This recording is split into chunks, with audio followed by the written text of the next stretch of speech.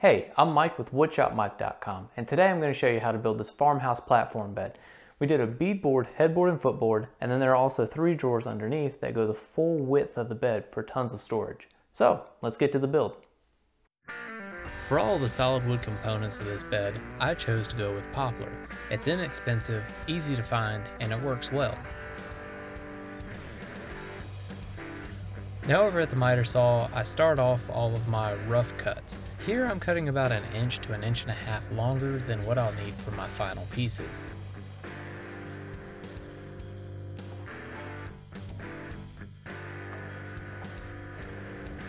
At the jointer I start the rough milling operations. Now here I'm just cleaning up one edge, and that's to give me a smooth surface to run against the table saw fence. And at the table saw I start ripping these down to their rough widths, which is about a half inch wider than their final dimension. And back at the jointer, I machine one face to allow for a good glue surface when I laminate the legs.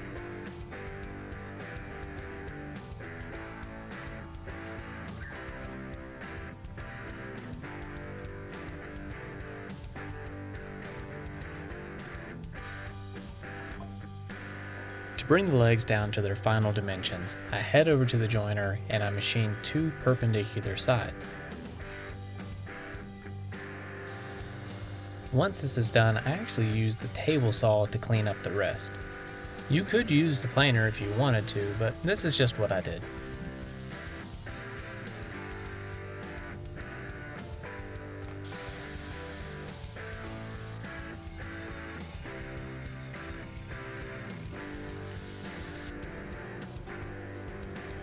For the remaining items that will make up the frame of the headboard and footboard, I'd go through the exact same process.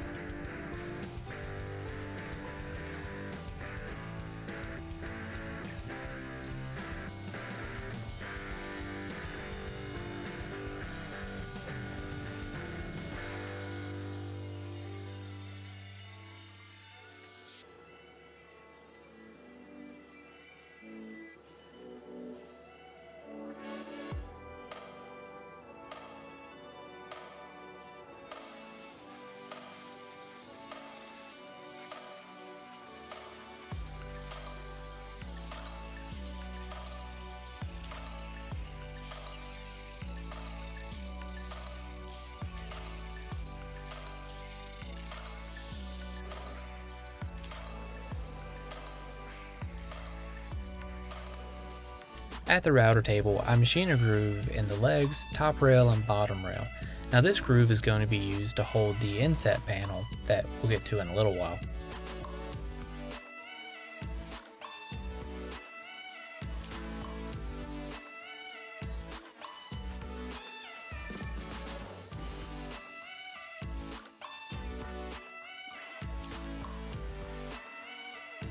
The last machining operation to do before we begin assembling the headboard and footboard is to drill for pocket holes, and the Kreg Foreman makes really quick work of this.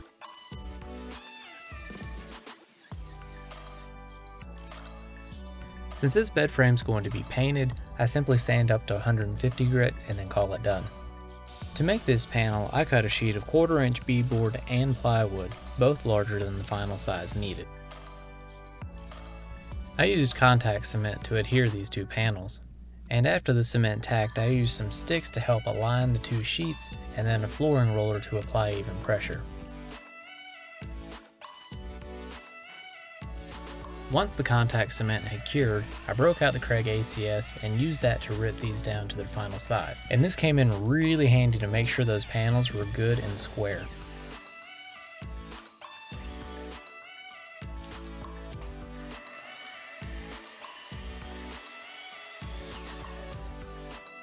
So as you see, I'm setting the panel inside of the top rail, the bottom rail, and the legs.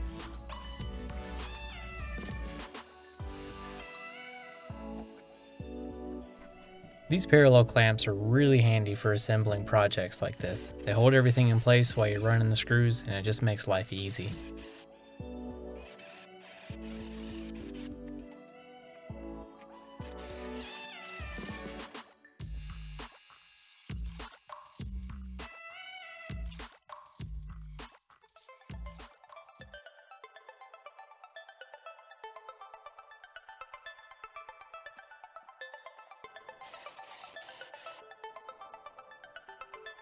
Now I'm milling the stock for the bed rails, which are also going to double as a face frame. With the rails and stiles left just a little bit thick and cut to their final widths, I'm ready to start drilling for pocket holes. I'll be using one and a quarter inch pocket hole screws to assemble the face frame. Now I'm just quickly sanding the inside surfaces of the face frame before assembly. And just like before, I'm using a clamp to hold things in place while I run in the screws. Now you may have noticed that I had a spacer block, and that's to keep a consistent opening for the drawers. With the face frame assembled, I head over to the drum sander and bring it down to the final thickness. At the table saw, I rip stock for the rails and stiles that will make up the false drawer fronts. Here I'm setting up to cut the groove in the rails and stiles that'll hold the center panel once this drawer face is assembled.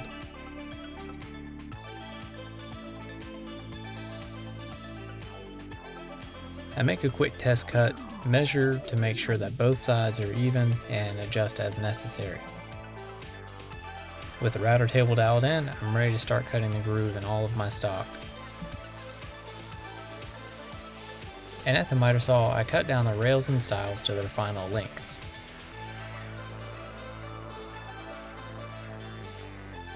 Now back at the router table, I've switched out the bit to cut the tongue in the end of all of the stile. And just a quick test fit makes sure that everything is set up properly. I opted to make the center panels out of MDF because it's cheap and really stable.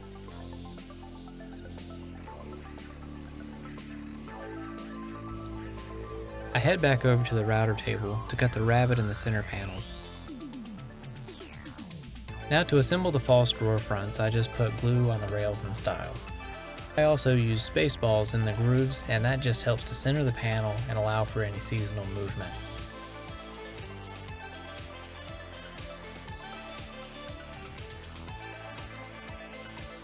In here I'm really just using clamps to help square up the drawer face assembly while the glue cures. Back at the drum sander, I bring the drawer faces down to their final thickness.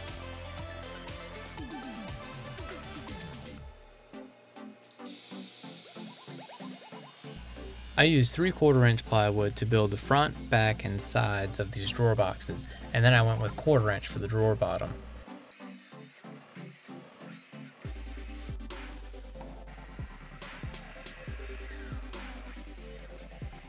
Once everything is cut to length, I head back over to the table saw and cut the dado that will hold the drawer bottoms.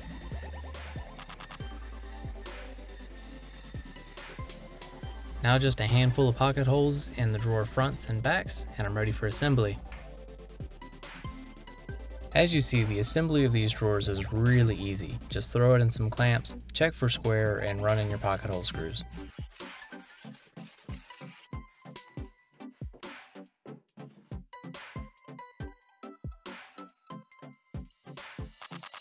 If you're new over here and you're enjoying the project, I'd love it if you'd go ahead like and subscribe.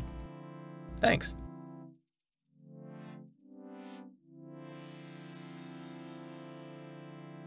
To secure the bed rails to the headboard and footboard, we went with Rockler's keyhole bed rail brackets. These are really easy to install. To install the bed slat support, I'm just running 2.5 inch screws through it into the face frame, which is the last step before I install the other part of the keyhole bracket hardware.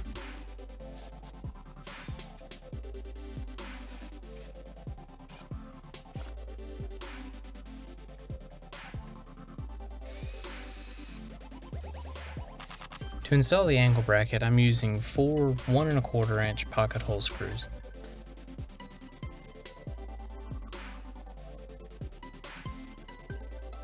With the bed frame together, I can now install the drawer slide supports. And as the name implies, the drawer slides are going to get screwed to this.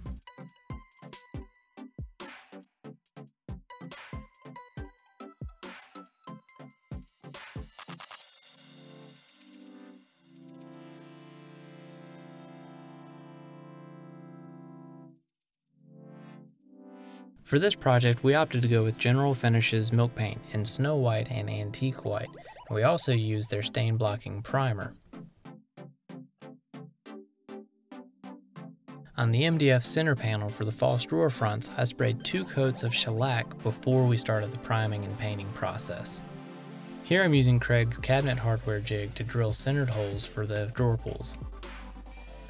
On this side of the bed, we're just going to give the illusion of having drawers. So we have a little support block and then we're just screwing the false drawer front in place. And on the other side, I just drill through the pre-drilled holes and use that to attach the drawer pulls.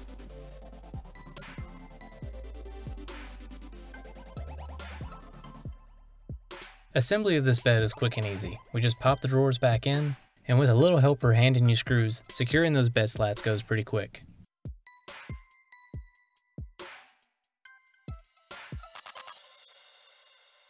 Alright, well that's going to wrap us up for the day. A big thank you goes to Kreg Jig for sponsoring this build, and if you're interested in the plans, make sure to go check out the link below.